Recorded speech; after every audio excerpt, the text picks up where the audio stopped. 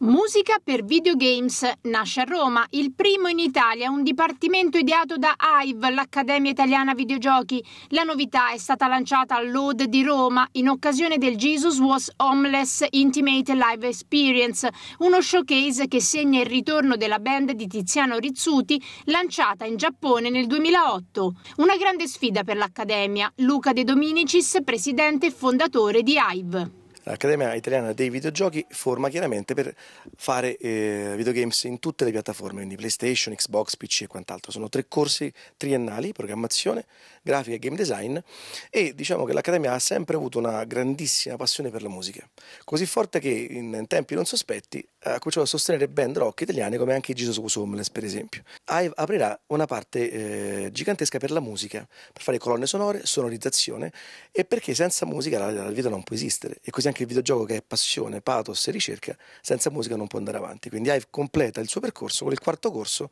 che sarà musica per videogiochi. Noi pensiamo al videogame come l'ottava eh, arte, è una piazza centrale in cui tutte le arti classiche confluiscono. La musica è un'arte essenziale per l'essere umano, per la sua espressione.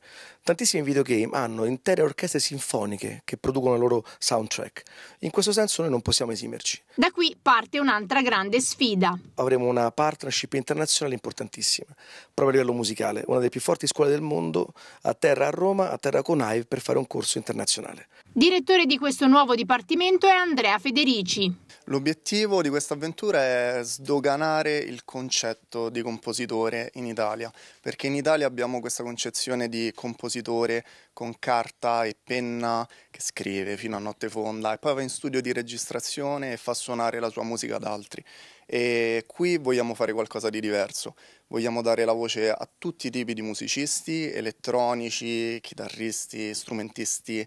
E il compositore è qualcosa di diverso, deve riuscire con la produzione musicale attraverso il computer a dare voce ad, ad un'immagine, ad un videogioco che sia interattivo o meno e quindi è qualcosa di innovativo che è molto molto comune all'estero ma in Italia si vede ancora poco. Il lancio è avvenuto durante lo showcase della band Jesus Was Homeless di Tiziano Rizzuti, che è pronta a tornare sul panorama musicale con tre nuovi inediti. Rilanciamo proprio un ritorno sulle scene, siamo stati fermi per un po' di tempo, eh, però insomma con questo tipo di collaborazione con Hive, col quale siamo stati ehm, insieme per parecchio tempo per, per, il percorso, siamo arrivati insomma a questa nuova uscita che sarà eh, di un eh, brano che si chiama Dead. Parla proprio di una rinascita, quella che è una rinascita artistica, quello che è un, un rilancio sul, sulle scene, quindi comunque si rifà sia da un punto di vista personale, però anche proprio da, una, da un punto di vista discografico e quindi stasera è proprio una preview eh, di quello che sarà un nuovo lavoro artistico.